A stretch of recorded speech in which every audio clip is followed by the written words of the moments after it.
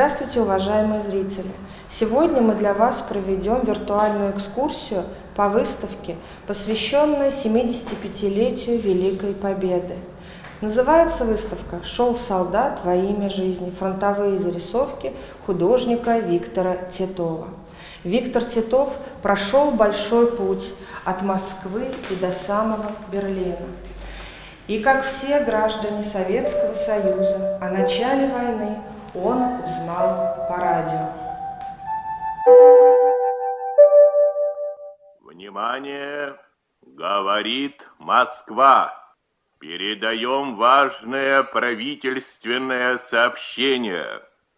Граждане и гражданки Советского Союза, сегодня в 4 часа утра без всякого объявления войны германские вооруженные силы атаковали границы Советского Союза. Художник Виктор Титов родился в 1922 году. Когда наступила война, ему было всего 19 лет. На войну никто просто так сразу не отправлял. Необходимо было молодых людей обучить военному мастерству. И поэтому Виктора Титова отправили в Рязанское военное училище. Его путь начался с белорусского вокзала. На этой работе мы с вами видим, как солдата провожает любимая девушка. Но Виктора Титова никто не провожал. Он вообще вырос без родителей. Его судьба начиналась очень тяжело. Но, конечно, в мечтах, в голове ему хотелось бы очень, чтобы кто-то, какой-то любящий человек провожал его, может быть, в последний путь. Здесь он изображает самого себя. Это его автопортрет. Девушка – вымышленный персонаж. Когда э, ребята ехали э, в училище в поезде, особенно их никто не кормил. Ну где же доставать еду? Кушать-то хочется и пить тоже. Э, поезда останавливались на полустанках. Э, солдаты выбегали и бежали в близ лежащие деревни. Вы думаете, их там с радостью встречали? Нет, конечно. Потому что таких поездов проезжало очень много. И население деревень прятало еду. Самим-то тоже надо как-то оставить себе еду на пропитание. Поэтому приходилось бежать все дальше и дальше с каждым поездом. И поезд уже отходил, и наш Виктор Титов, он вот здесь изображен, бежит, ему помогает его друг, чтобы он зашел на этот поезд. Приносили кто что мог. Ну что это в основном? Конечно, крупы. Крупы долго хранятся, с ними ничего не происходит. А как же крупу приготовить в поезде? В поездах могли находиться печи. А вот какие печи, мы с вами сейчас и увидим.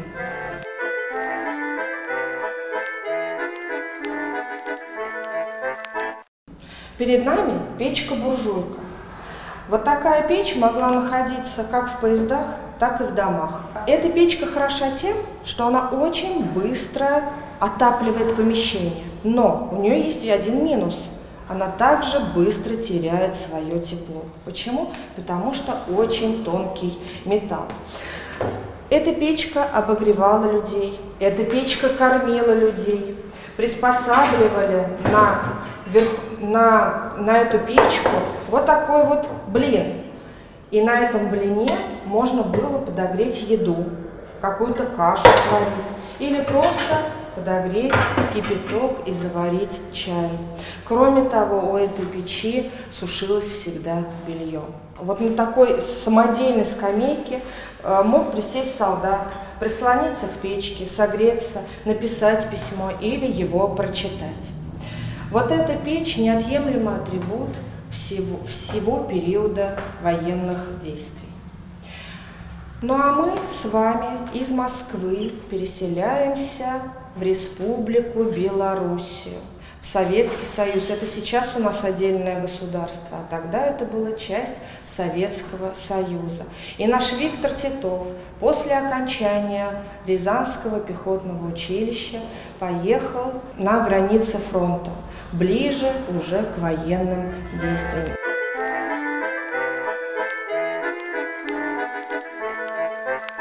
И вот мы с вами находимся на территории Белоруссии.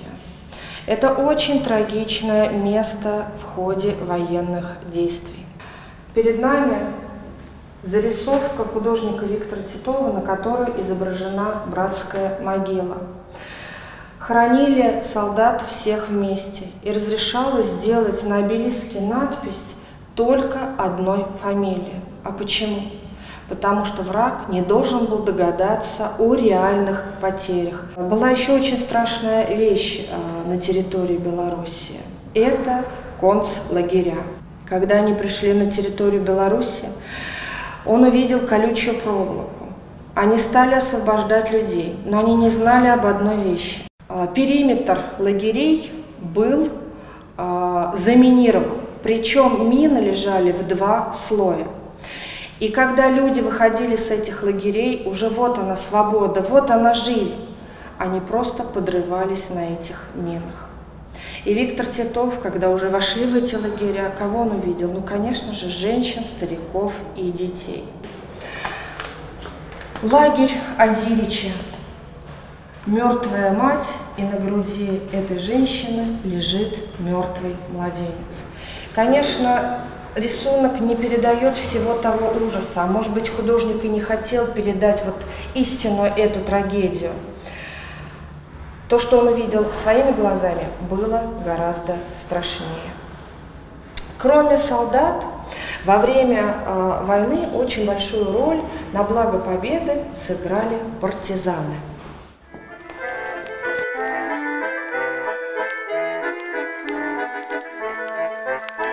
Перед нами портреты партизан. Мы не знаем их имен, мы не знаем их фамилий. Этих людей было очень много. Партизаны – это те люди, которые не имели ни званий, не были официально в рядах Красной Армии. Это люди, которые тайно вели свою борьбу с фашизмом. Но многие забывают, что эти пожилые уже мужчины могли воевать в Первую мировую войну, и они могли иметь навык военных действий. Конечно, они обладали этими знаниями. Эти люди в основном базировались в лесу. Партизаны в основном занимались разведкой, но в том числе они могли брать в плен немецких солдат. И сейчас мы с вами с территории Белоруссии переезжаем уже ближе к линии фронта и заходим на территорию Европы, а именно в Польшу.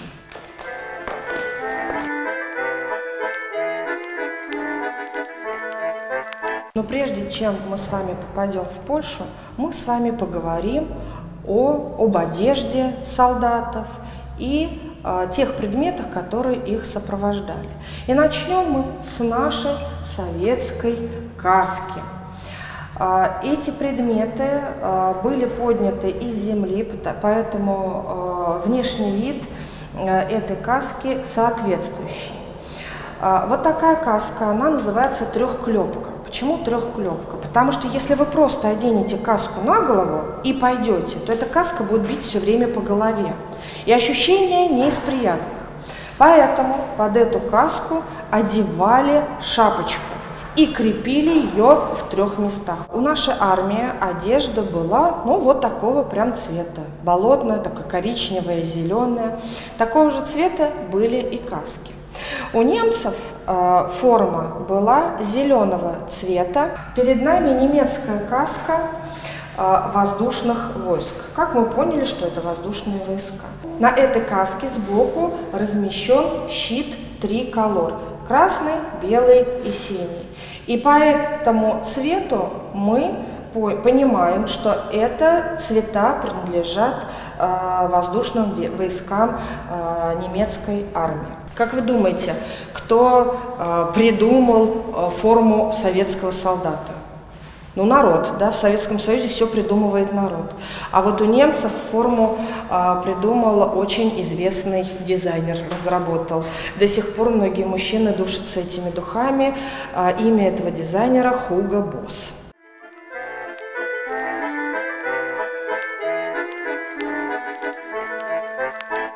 Офицера была вот такая сумка. Называется она сумка-планшет. Сделана она из хорошей свиной кожи. Вот прошло очень много лет, а все находится в прекрасном состоянии. Так почему же планшет? Потому что в этой сумке есть такой экран. Это экран-кармашек. Сюда э, офицер помещал карту. И, конечно, войска двигались и наши, и немецкие. И необходимо было отмечать, кто куда двигается. Поэтому у офицеров был еще такой замечательный карандаш, двойной, э, синий и красный.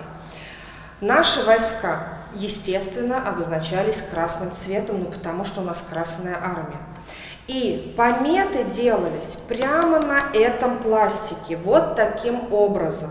Никто карту не вынимал, чтобы отметить местоположение.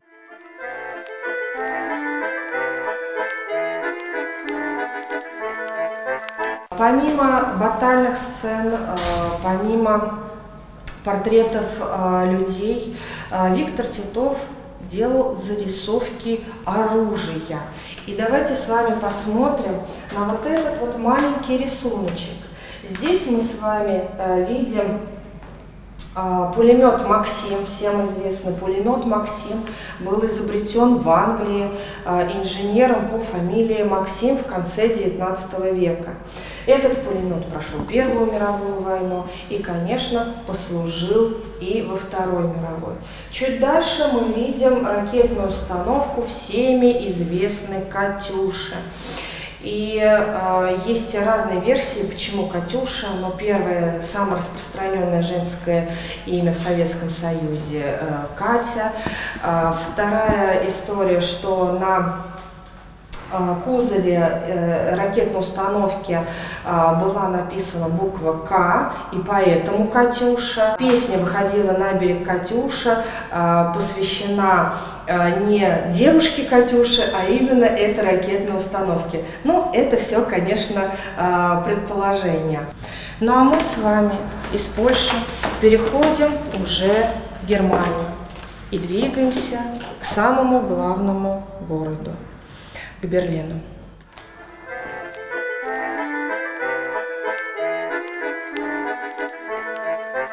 Мы в Берлине.